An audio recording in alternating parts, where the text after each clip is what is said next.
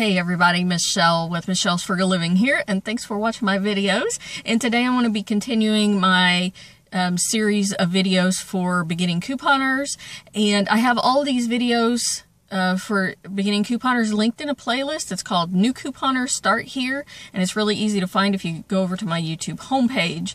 You'll see the playlist there and I'll be continuing to add more videos as time goes by. All right, so today I want to talk about how many inserts do you need each week? Okay, and the best thing I can tell you is is it's all an individual thing. You know, the way I coupon is different from anybody else's couponing, and so in general, you, you're going to have to figure that out for yourself, and it may change over time. And for me, it has changed over time.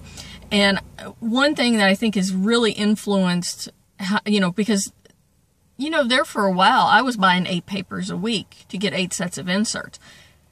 But the internet printable business has increased so much that I have cut back and I only get four papers a week because a lot of times the coupons that I want have been printable or there might be a better printable coupon than what we get in the inserts or whatever. Okay. But a way, you know, I would say have two sets of inserts. That's a good thing to start off with, especially. Um, and, you know, because a lot of deals require you to buy two of something. And also, if you find a really good deal on something and you're going to be stocking up on it, you don't want to just buy one, you want to get two, right? And, um, also take into account that you have load to card coupons and a lot of the coupons we get out there are available that way as, as well. So that can give you an extra coupon if the store you're shopping at has load to card, electronic coupons. And um, so I decided to get four papers, okay, because I have to pay a dollar fifty for a newspaper on Sunday to get the inserts. So I have to take that into account. And some weeks I don't even buy papers I look at the list of coupons that are coming, or I physically look, get one paper, look at the insert, you know, the coupons that are there, and then decide to buy whether I'm going to buy more papers or not.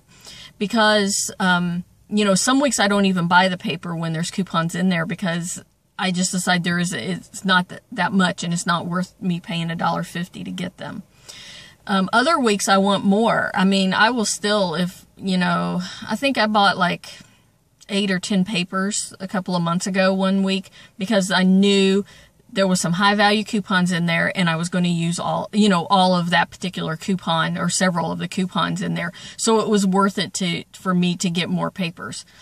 Um, you have to ask yourself, why are you couponing? You know, if you're just couponing for your family yourself, then you really don't need to have 10 of something particularly. you know what I'm saying?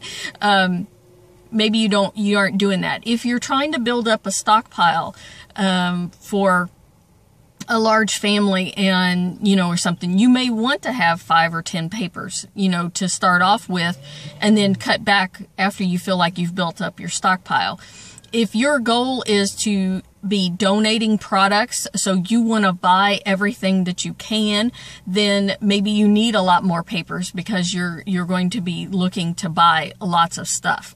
okay, um, or selling it if you're if you're into selling your um, coupon uh, stuff. So you may want to have a lot more um, coupons available, and in that case, you know depending on how much your newspaper costs, it may be better for you to find a place to buy coupons from.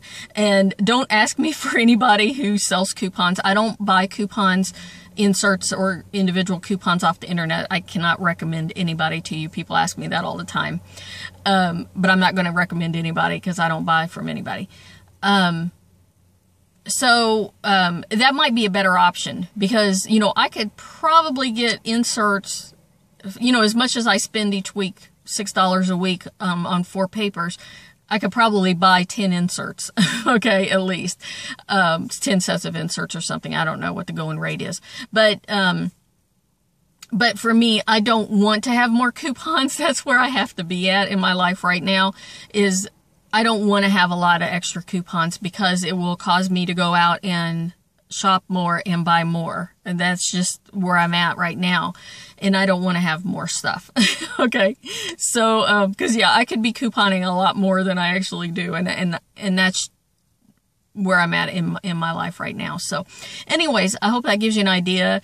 Um, two papers is good to start off with and if you really get into the couponing thing and you find you really like it and you want to really build up your stockpile um, then certainly um, start getting more okay? I'll talk to you guys later